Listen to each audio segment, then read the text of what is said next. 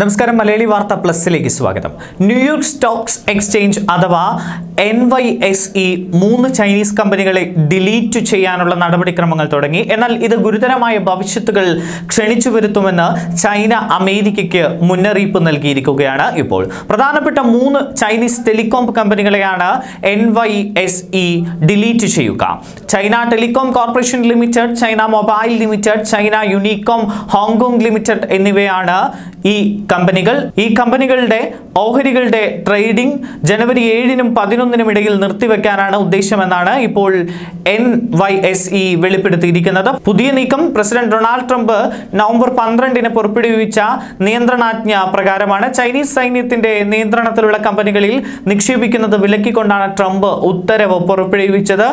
ഡൗ John's നാഷ്ഡാക് തുടങ്ങിയവയുടെ സൂചികകളിൽ നിന്ന് ഇവയെ പുറത്താക്കും. ദേശീയ സുരക്ഷയും മനുഷ്യാവകാശ പ്രശ്നങ്ങളും പരിഗണിക്കുമ്പോൾ ഇതൊരു വിനീതമായ നടപടിക്രമം മാത്രമാണ് എന്നാണ് മുൻ വൈറ്റ് ഹൗസ് ഉദ്യോഗസ്ഥനായ റോജർ റോബിൻസൺ പ്രതികരിച്ചത്. അമേരിക്കക്കാരിൽ നിന്ന് ചൈനീസ് കമ്പനികൾ നിക്ഷേപം സ്വീകരിക്കുന്നതിനെ എതിർക്കുന്ന ആളുകളിൽ ഒരാളാണ് ഇദ്ദേഹം.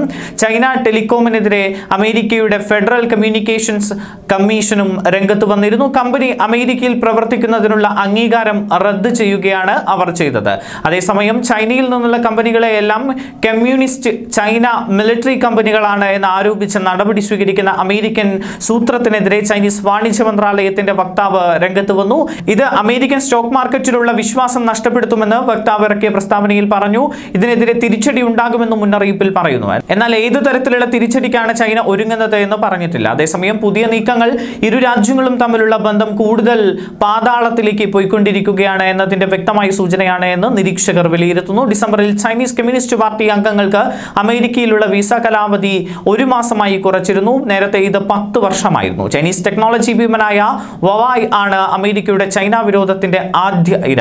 അമേരിക്കയുടെ നിയന്ത്രണങ്ങൾ വന്നില്ലായിരുന്നുവെങ്കിൽ ലോകത്തെ ഏറ്റവും വലിയ ടെക്നോളജി കമ്പനിയാകുമായിരുന്നു എന്നതിന് വ്യക്തമായ സൂചന നൽകി ചൈനീസ് കമ്പനിയായ വവായ് ഈ വർഷത്തെ തങ്ങളുടെ പുതിയ സ്മാർട്ട് ഫോൺ പ്രൊസസർ പുറത്തിറക്കി. കിരിൻ ഒൻപതിനായിരത്തി പത്ത്. ഇതിന്റെ പ്രത്യേകത അതൊരു ത്രീ എൻ എം പ്രൊസസ്സറാണ് എന്നതാണ്.